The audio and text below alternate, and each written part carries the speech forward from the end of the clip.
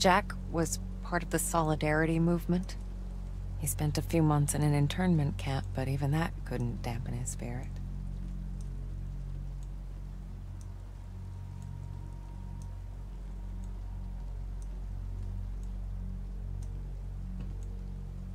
Come on, Jack. Where'd you put it? Okay. Let's do this the other way.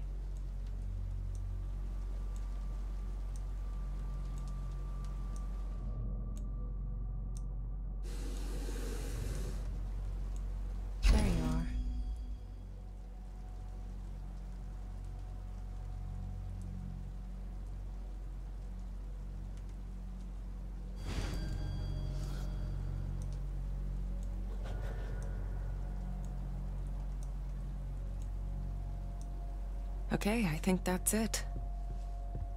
Jack's waiting downstairs. Time to say goodbye.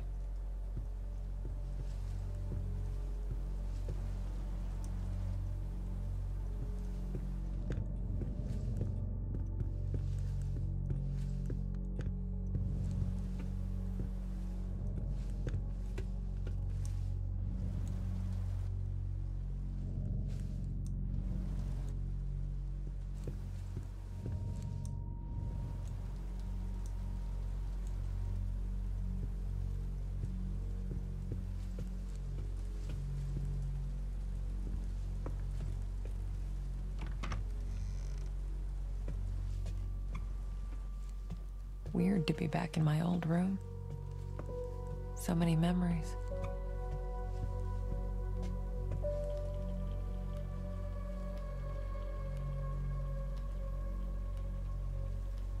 My oldest family heirloom. As a kid, I'd show this to people just to freak them out. I'd usually say something like, Pretty sick, huh? I was such a dork.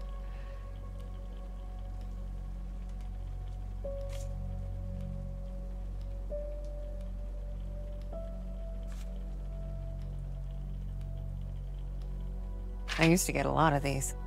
To me, they were like trophies. Badges of honor for doing the right thing. Jack wasn't too amused, but he did his best to cover for me. I kind of feel bad for making him go through all that.